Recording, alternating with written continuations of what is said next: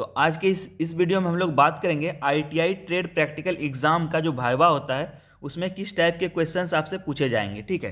तो बहुत ज़्यादा यहाँ पे स्टूडेंट को कन्फ्यूज़न होता है कि भाईवा जो होता है, उससे बहुत ज़्यादा डर भी लगता है क्या पूछा जाएगा, नहीं पूछा जाएगा।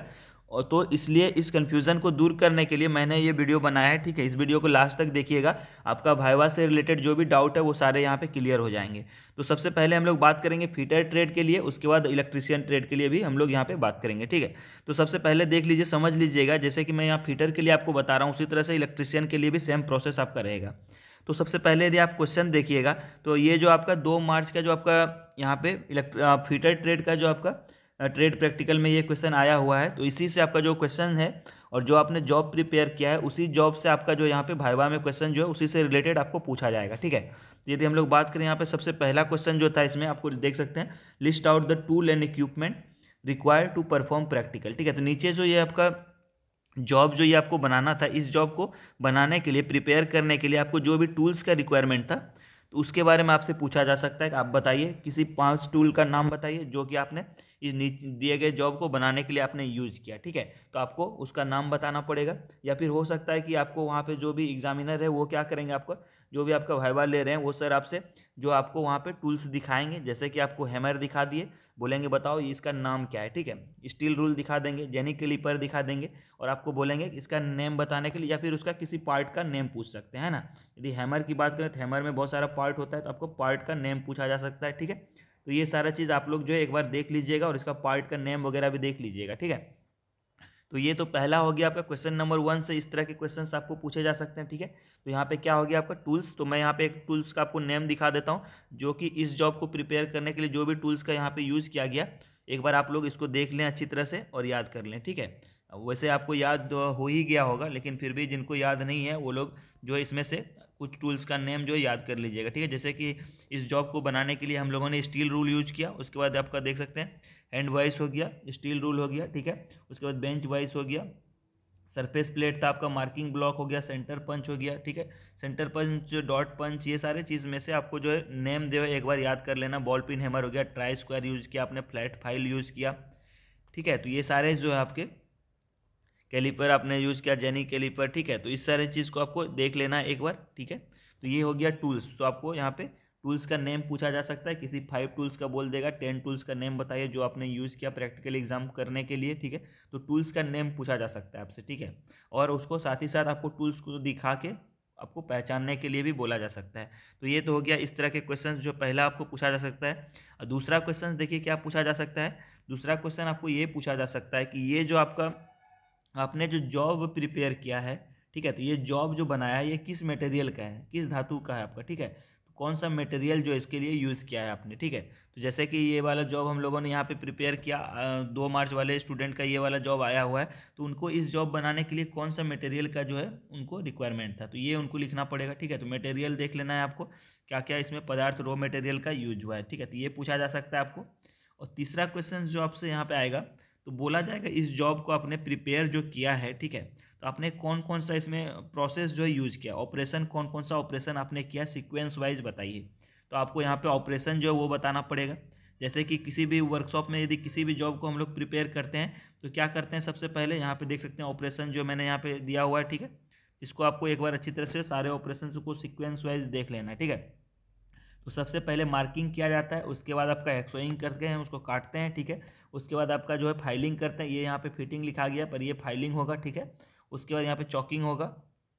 उसके बाद नेक्स्ट यदि बात करें हम लोग तो यहाँ पे आपको मार्किंग होगा, उसके बाद फिर चौक करने के बाद आपको मार्किंग करना रहेगा उसको, फिर यहाँ पे पंचिंग करते हैं उसको, डॉट पंच से पंचिंग किया जाता है, फिर ड्रिलिंग यदि आवश्यकता होगा तो ड्रिलिंग भी किया जाएगा। उसके बाद आपका फिटिंग होगा लास्ट में आपका फिनिशिंग किया जाएगा, ठीक है? तो ये सारे प्रोसेस हैं, आप लोग देख सकते हैं, ये सारे आपको ऑपरेशन पूछा जा सकता है, या फिर इसमें से किसी एक ऑपरेशन के बारे में बोल दिया जाएगा कि बताइए आप जो है चॉकिंग क्या है। तो जानते हैं चॉकिंग क्या है? चॉकिंग जो होता है आपका फाइलिंग करने के बाद उसको जो है, उसके ऊपर जो है चौक जो है लेप लगाया जाता है, ठीक है? अच्छे से मार्किंग करने के लिए। तो ये सारे में से किसी भी एक प्रोसेस आपको पंचिंग हो गया पंचिंग क्यों करते हैं? पूछा जा सकता है आपको। पंचिंग क्यों करते हैं? जब हम लोग मार्किंग कर लेते हैं, चौकिंग उसके ऊपर लगा के मार्किंग कर लेते हैं तो उसको वो बाद में जो है, आपका जो है, मिट ना जाए, ठीक है? क्योंकि चौक क्या होता है आपका? जब आप लोग उसको फिर से आप लोग उसको जो है एक्सोइंग कीजिएगा तो उस समय जो होता है आपका इधर उधर वो निशान जो जो भी मैंने मार्किंग किया, वो इधर उधर हो सकता है, ठीक है? इसके लिए उसके ऊपर क्या किया जाता है? पंचिंग किया जाता है, जिससे कि आपका वो जो होता है, एक क्या होता है परमानेंट उस पर मार्क लग जाता है, ठीक है? तो इसके लिए पंचिंग किया जाता है आपका। तो ये सारी चीज़ आपसे पूछे जा सकते हैं आपके भाईवा एग्ज़ाम में, ठीक है? और इससे बाहर कुछ भी क्वेश्चन आपसे नहीं पूछा जाएगा। आपका जो भी जॉब आया है, वही जॉब जो आपने बनाया है वर्कशॉप में, वही जॉब से आपका क्वेश्चन रहेगा। टूल से रिलेटेड क्वेश्चन पूछे जाएँगे और आपसे यहाँ पे सीक्वेंस ऑफ़ ऑपरेशन पूछा जाएगा। आपने बताइए कि आपने इस जॉब को बनाने के लिए कौन कौन सा ऑपरेशन जो है यहाँ पे परफॉर्म किया है, ठीक है? उसके बाद ज़्यादा से ज़्यादा आपको जो यहाँ पे वर्किंग स्टेप पूछा जा सकता है क्या क्या आपने किया है? सीरियली आप लोग बता सकते हैं, ठीक है? सबसे पहले आपने क्या किया? मेटल ब्लॉक को दिए गए डायमेंशन के हिसाब से काट लिया, उसके बाद उसका जो सरफेस को फिनिश को सरफेस को जो है स्मूथ बनाने के लिए आपने फाइलिंग किया, ठीक है? एक्सोइंग किया, उसके बाद चॉकिंग किया, ये सारी चीज़ आपको बताना रहेगा। तो एक बार जो इसको आप लोग देख लीजिएगा अच्छे से, इस प्रोसेस जो भी इसमें लिखा गया है, ठीक है? यदि आप लोग चाहते हैं कि आपको भाईवा में जो है अच्छे मार्क्स मिले तो आप लोग इसको एक बार देख लीजिएगा, ठीक है?